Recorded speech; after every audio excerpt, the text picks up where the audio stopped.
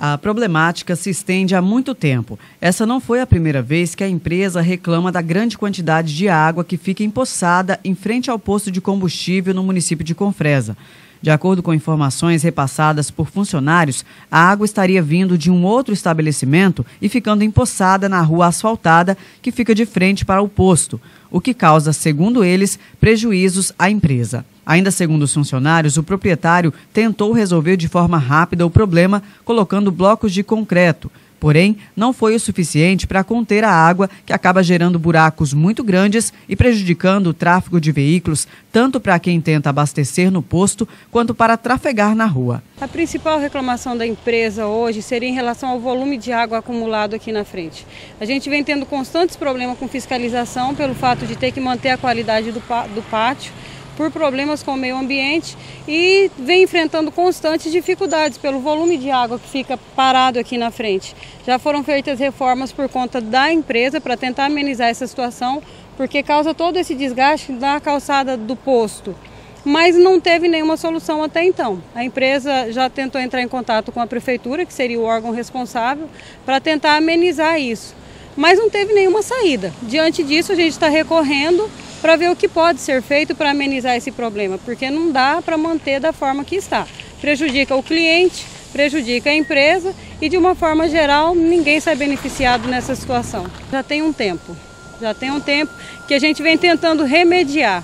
E em função desse tempo, a gente não ter conseguido nenhuma alternativa, nem junto à prefeitura e nem junto ao local que faz, deixa escorrer essa água pela rua, aí diante dessa situação que a gente está recorrendo. Mas não vou te de determinar um tempo específico. Se você seguir rua sentido a Caixa Econômica, você vai ver que na beira da calçada tem um cano que joga especificamente na rua. Não é nada escondido e nem que flui da terra, não. Tem um cano, uma encanação específica que joga na rua. O que a gente espera que seja feito? Que os órgãos competentes que compete esse departamento tome uma iniciativa, uma atitude, porque é, se fosse a minha empresa que estivesse passando por essa situação, a gente tomaria uma iniciativa para resolver. Então, os órgãos competentes que competem a cuidar dessa parte da vigilância sanitária, meio ambiente, que tomem uma iniciativa para que isso se resolva porque a empresa não, não tem como conseguir resolver essa situação. O que nós poderíamos fazer, já tentamos fazer, infelizmente não conseguimos um resultado positivo, porque com o fluxo grande de veículos pesados, o volume de água não permite a qualidade desse serviço.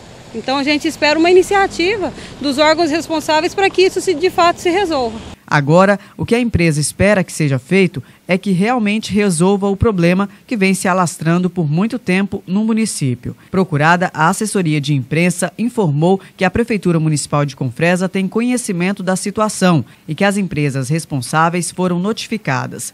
Ainda segundo a nota encaminhada, a administração municipal está acompanhando a questão e vai utilizar de seus mecanismos para que o problema seja resolvido.